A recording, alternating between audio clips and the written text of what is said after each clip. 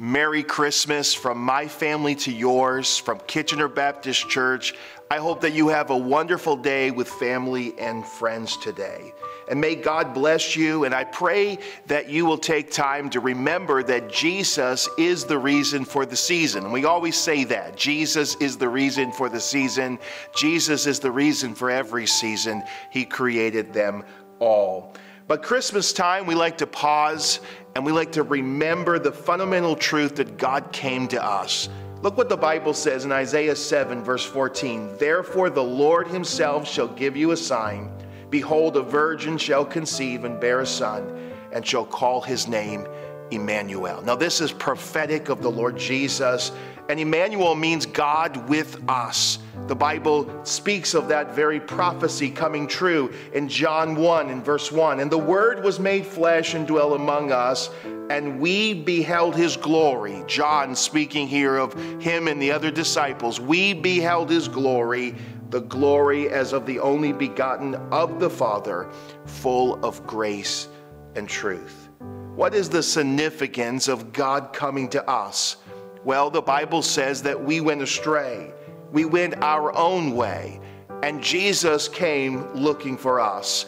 Like a lost sheep, a lost coin, and a lost son, God didn't give up on us. And I'm glad today that God still hasn't given up on us. Paul speaking to those on Mars Hill, to those who had set up altars to all the gods that they could think of, and then they set up an altar to the unknown God, just in case they forgot a deity. Paul approaches the superstitious people and he says, I want to introduce to you the unknown God. He is the true God. He says in Acts 17, verse 27, that they might seek the Lord, if happily they might feel after him and find him, though he be not far from every one of us. God is near us today by his son Jesus. His death and resurrection allows us to approach God in all of his glory.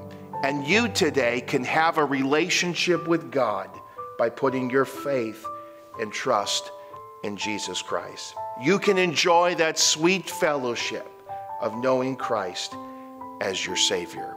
I hope that you enjoy this wonderful Christmas day and all that this day brings forth.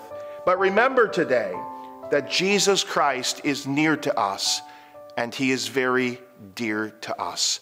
Merry Christmas. Have a wonderful day. God bless you.